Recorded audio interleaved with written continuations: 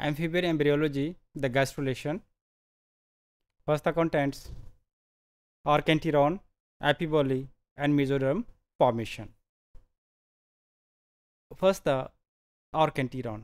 Student archenteron के बारे में हम ऑलरेडी जानते हैं कि ये when the cells are moving in from the blastopore so they are actually making a cavity and this cavity is called the archenteron archenteron actually it replaces the blastocoel पहले blastocoel होती है। Blastocoel जो Aahista Aahista disappear हो जाएगी उसकी जगह और कैंटीरॉन appear होगी। और कैंटीरॉन ने आगे फर्दर जाकर फ्यूचर में गट या डाइजेस्टिव सिस्टम बनाना है। और इसलिए आर कैंटीरॉन की जो लाइनिंग्स वाले सेल्स हैं they are actually the endodermal cells archenteron को जो सेल्स बना रहे हैं, जो सेल माइग्रेट करके अंदर जा रहे हैं और आर कैंटीरॉन को लाइन अप कर रहे हैं, उसकी लाइनिंग बना रहे हैं that is they are actually the endodermal cells तो जो सबसे बाहर वाले हैं वो एक्टोडर्मल होंगे और आर्केंटीरॉन को जो लाइन कर रहे होंगे वो एंडोडर्मल होंगे। एक्टोडर्म और एंडोडर्म के दरमियान में आगे मिजोडर्म में डेवलप होना है। सो एपीबोली एपीबोली एक स्पेसिफिक कंडीशंस है, जैसे ही गैस्ट्रोलेशन का प्रोसेस प्रोसीड करेगा। तो शुरू में ब्लास्टोपोर पीर होगा और सेल एनिमल पोल से ज़्यादातर माइग्रेट करके या साइडों से माइग्रेट करके इनवर्ट मूव करेंगे। और ब्लास्टोपोर से जब सेल इनवर्ट मूव करेंगे तो वो एक आर्केंटीरॉन बना देते हैं। जब ये प्रोसेस गैस्ट्रुलेशन का फर्दर प्रोसीड करेगा तो फिर ये होगा कि जो एनिमल पोल वाले सेल्स हैं, वो मसल से डिवाइड करके नीचे की तरफ़ मूव करते रहेंगे। और वो नीचे आते हुए जो वेजिटल पोल के सेल्स हैं, उनको भी ऊपर से कवर कर देते हैं। ब्लास्टोपोर को भी क्लोज कर देंगे और उसके बाद वेजिटल पोल के सेल्स को भी कवर कर देते हैं। यानी यूँ समझें कि पहले एनिमल पोल के सेल थे वेजिटल पोल के सेल्स थे। एनिमल पोल के सेल इतने ज़्यादा डिवाइड किए कि उन्होंने पहले तो ऑर्केंटीरान बनाई अंदर जाकर, उसके बाद जो सेल्स ऊपर से मज़ीद डिवाइड कर रहे हैं, वो आकर ऊपर से उन्होंने वेजिटल पोल के सेल्स को भी ऊपर से कवर कर लिया है। यानी जो समझे कि हमने किसी चीज़ को ऊपर से डांप लिया है जैसे। इस प्रोसेस को कहते हैं, इट इज़ द एपीबोली है।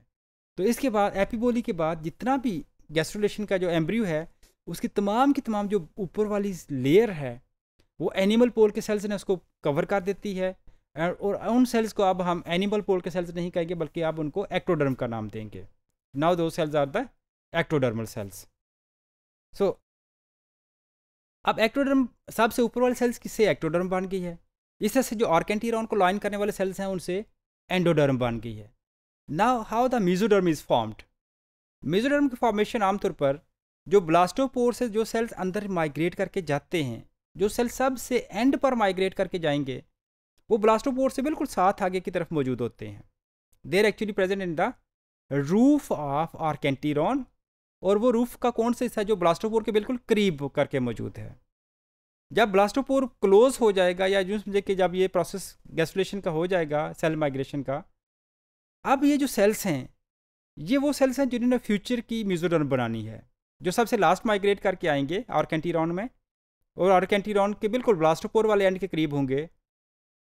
Now they will detach from the archenteron अब आर्केंटीरॉन या एंडोडर्मल वाले सेल से डिटैच होंगे and they will migrate between the ectoderm and endodermal space ectoderm endoderm के स्पेस के दरमियान में जाकर क्या करेंगे वो? इकट्ठे हो जाएँगे।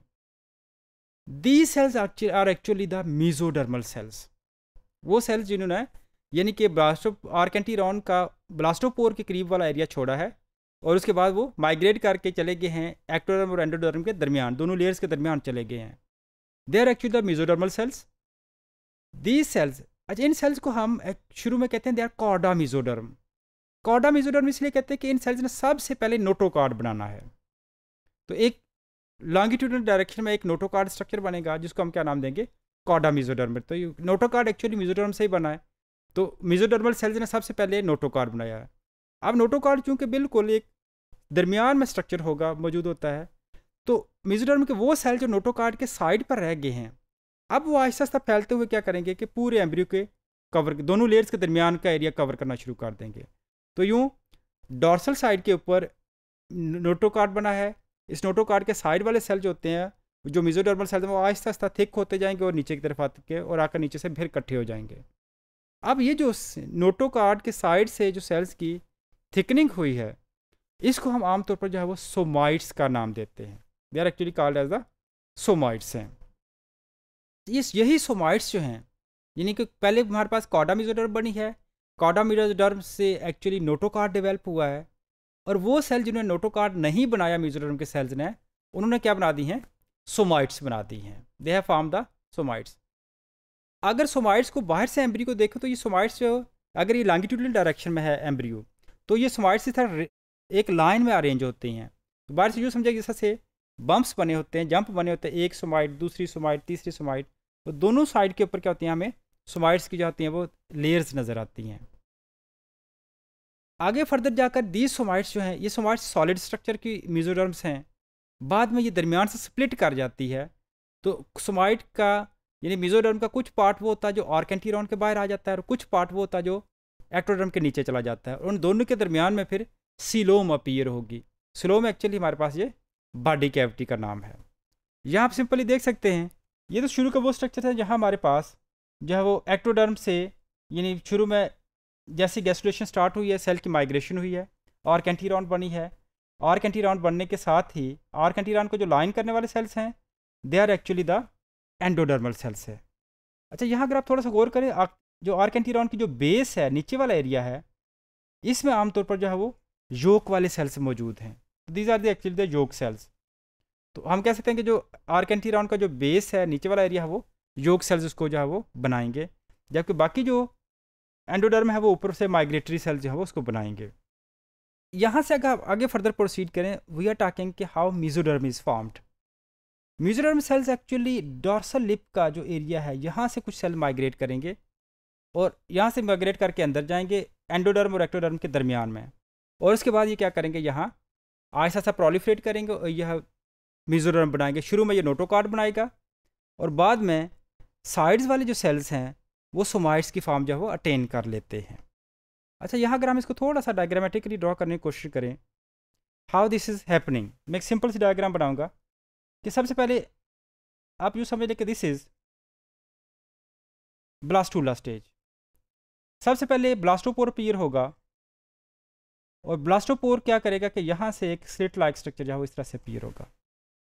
ये वो पोजीशन है जहाँ सेल मसल सेल माइग्रेट करके अंदर जाएँगे। इस ओपनिंग को हम ब्लास्टोपोर का नाम देते हैं और यहाँ से ब्लास्टोपोर से सेल मसलसल माइग्रेट करके अंदर जाएँगे। इन साइड ऑलरेडी ब्लास्टोसील मौजूद है। अब ये जो माइग्रेटरी सेल्स हैं, ये ब्लास्टोसील को पीछे की तरफ़ पुश करेंगे और रिज़ल्ट ये होगा कि ब्लास्टोसील आहिस्ता आहिस्ता डिसअपियर हो जाएगी। और ब्लास्टोसील की जगह एक और कैविटी अपीयर हो जाएगी that is called the archenteron ये हमारे पास जो वो ऑर्केंटीरॉन जो है डेवलप हो जाएगी। देन फर्दर अगर हम इसमें देखें तो यहाँ हमारे पास टू लेयर्स हैं। एक वो लेयर थी सेल्स की जो ऑलरेडी मौजूद थी अपर लेयर और एक वो लेयर है जो सेल्स की नई माइग्रेट करके अंदर जा रहे हैं। ऑर्केंटीरॉन को जो लाइन सेल्स कर रहे हैं there actually the endodermal cells और जो बाकी सेल्स हैं वो एक्टोडर्मल सेल्स हैं। अच्छा इस तरफ़ जो सेल्स हैं they are actually the yolk cells हैं। यहाँ एक और चीज़ हो रही है कि जब ऑर्केंटीरॉन के सेल्स इधर से अंदर माइग्रेट कर रहे हैं तो योग सेल्स को बाहर की तरफ़ पुश किया जा रहा है, जिसकी वजह से योग सेल बाहर एक योग पला की शक्ल में बाहर आ जाते हैं। लेटर ऑन ये सेल्स यूज़ हो जाते हैं योग यूज़ हो जाएगा योग प्लाग आहिस्ता आहिस्ता यहाँ से डिसअपियर हो जाएगा या अंदर को चला जाएगा। अगली स्टेज के ऊपर ब्लास्टोपोर आहिस्ता आहिस्ता जो माइग्रेटरी सेल्स हैं, वो ब्लास्टोपोर को आहिस्ता आहिस्ता क्लोज करना शुरू कर देंगे। और ब्लास्टोपोर क्लोज हो जाएगा। उसके बाद एपीबोली स्टेज आती है। एपीबोली में क्या होगा कि जो ऊपर वाले सेल्स हैं बड़ी तेज़ी से डिवाइड कर रहे होते हैं। वो डिवाइड करते हुए ब्लास्टोपोर को भी क्लोज करते हैं और उसके बाद पूरे एम्ब्रियो को ऊपर से कवर कर देते हैं। तो ये एम्ब्रियो को जो कवर करने का प्रोसेस है this is actually the epiboly है। अब जो एनिमल पोर से सेल डिवाइड करने वाले सब नीचे आकर पूरे एम्ब्रियो कवर कर दिया है this is actually the ectoderm ये एक्टोडर्म बन गई है। आर्केंटीरॉन को जो लाइन करने वाले सेल्स हैं they are actually the endodermal cells ये हमारे पास एंडोडर्मल सेल्स है। मिजोडर्म की फॉर्मेशन जो है, वो यहाँ, ये डार्सल लिप के कुछ सेल्स यहाँ जो हैं माइग्रेटरी सेल्स जो हैं, ये आर्केंटीरॉन के इस यहाँ से डिटैच होकर इस दरमियान वाले स्पेस में आ जाएँगे। They will get detach from here यहाँ से डिटैच होकर ये दरमियान स्पेस में आ जाएँगे और आहिस्ता आहिस्ता फिर यहाँ से मिजोडर्म को बना देंगे। इस तरह से एक्टोडर्म और एंडोडर्म के दरमियान में जो है वो मिजोडर्म जो है वो बन जाएगी। अब जो माइग्रेटरी सेल्स को अगर हम फ्रंट से देखें क्रॉस सेक्शन में देखें तो शुरू में जो सेल माइग्रेट करके आते हैं, वो एक्चुअली बिल्कुल ये अगर आर्केंटीरॉन है यहाँ तो यहाँ इसके ऊपर जहाँ ये वो पोजीशन जहाँ ब्लास्टोपोर मौजूद था। तो ब्लास्टोपोर के करीब का जो एरिया यहाँ सबसे पहले सेल जो होते हैं ये दे फार्मा नोटोकार्ड वो सेल्स मिजोडर्म के जो नोटोकार्ड के साइड्स पर मौजूद हैं, ये आहिस्ता आहिस्ता प्रोलिफ्रेट करके नीचे की तरफ़ आना शुरू कर देते हैं। और ये बनाएँगे सोमाइट्स ये सोमाइट्स बनाएँगे। सोमाइट्स शुरू में सॉलिड होती है और बाद में सोमाइट्स के दरमियान में क्या होगा कि कैविटी क्रिएट हो जाती है। और स्क्रीनिंग के में स्पेस क्रिएट हो जाती है, जिसकी वजह से मिजोरम का कुछ पोर्शन जो होता है वो एक्टोरम के नीचे चला जाता है, कुछ पोर्शन जो होगा वो एंड यानी आर कैंटी राउंड के गिर जो राउंड करेगा। और ये जो दरमियान में स्पेस आएगी, इसको हम क्या नाम देंगे? इट इज़ द सीलोम इस तरह से जो गैस्ट्रोलेशन का प्रोसेस है वो that will be completed now